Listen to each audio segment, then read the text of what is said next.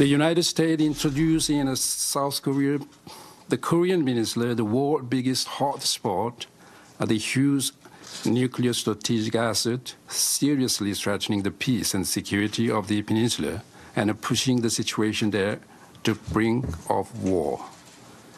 It has been created a dangerous situation in which the thermonuclear war may break out at any moment. That's North Korean Deputy Ambassador warning the United States that a thermonuclear war could happen at any moment. This, of course, on the heels of the Trump administration threatening the use of military force against North Korea, affirming all foreign allies and foes that all options are still on the table. But exactly what are those military options? Here to help break it down, Peter Brooks and Jessie Jane Duff.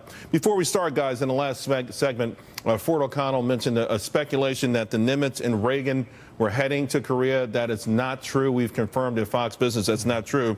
Of course, the Carl Vinson should be there uh, on April 24th. Jessie Jane, let's talk about the potential scenarios if, if all of this negotiation fails and Korea, North Korea continues their belligerent actions, including missile tests and perhaps even a nuclear missile uh, test.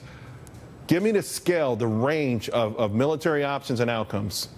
Well, first of all, they've made it very clear to us that they will hit us with a preemptive nuclear strike if they are even aware or hinting, or the U.S. is even hinting at hitting them. So they've made that very clear. They also have on the table, they have trying to design a missile that can travel over 2,000 miles. That means it can hit Guam, where we have over 150,000 U.S. citizens. They also have on their table a intercontinental ballistic missile that can possibly probably travel over 7,000 miles. Let us not keep mocking them because they cannot get these off the ground. That is also because of probably U.S. cyber attack that is stopping them. When are they going to get the coding right? When will they get these computers aggressively set where we can no longer derail them? We are in a critical situation. We have over 35,000 Army, Navy, Air Force, and Marines in South Korea standing by right now. This is serious. Peter, uh, one, part of the sense of urgency, of course, is that we know that ultimately they'll get all of this right if not if there's not some form of intervention.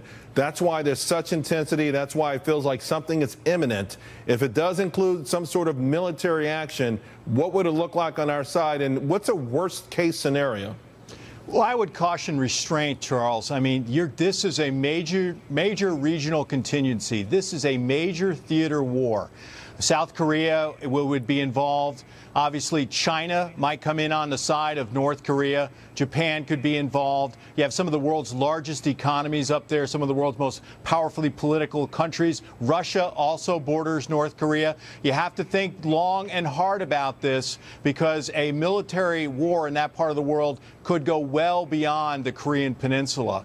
So, you know, if this something is going to happen, all U.S. forces are going to have to be directed uh, Uh, towards the Korean Peninsula. We're talking about a majority of our aircraft carriers, a majority of our forces, and right now we have to think about it. They are obligated elsewhere in a fight with ISIS and a fight in, with the Taliban in Afghanistan. So this also makes us step back and look at our defense budget and our capabilities. We certainly could win a war on the Korean Peninsula with our South Korean allies, but it's going to be very, very ugly, and it's going to require a lot of intense U.S. military intervention. Yeah, Jessie Jane, of course, uh, we, we have to remember the, the reason we have a demilitarized zone is that we fought to a standstill there.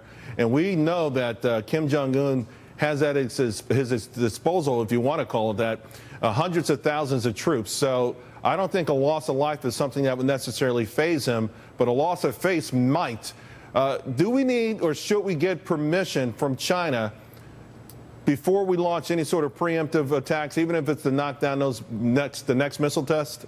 I don't know if permission is the correct word, but we are trying to enforce and work uh, very favorably with the Chinese so that they have our back to go forward. I understand that this is a very tense situation with China also, but Pres uh, Vice President Pence just said the era of strategic patience is over. It has essentially failed in the last eight years and the administrations prior to that. Keep in mind, he is in South Korea, where his father was awarded a Bronze Star 64 years ago in the Korean War. His son is a United States Marine on active duty. Nobody understands this probably better than him because it has hit home quite personally. Secretary Mattis stated very clearly if we are hit with any conventional or nuclear weapons, it will be a very strong response from the United States. So Kim is really in a situation where I think he's feeling like he's losing face because he can't attack us, Right. but he wants to attack us. All right, guys, thank you both very, very much. Really appreciate it.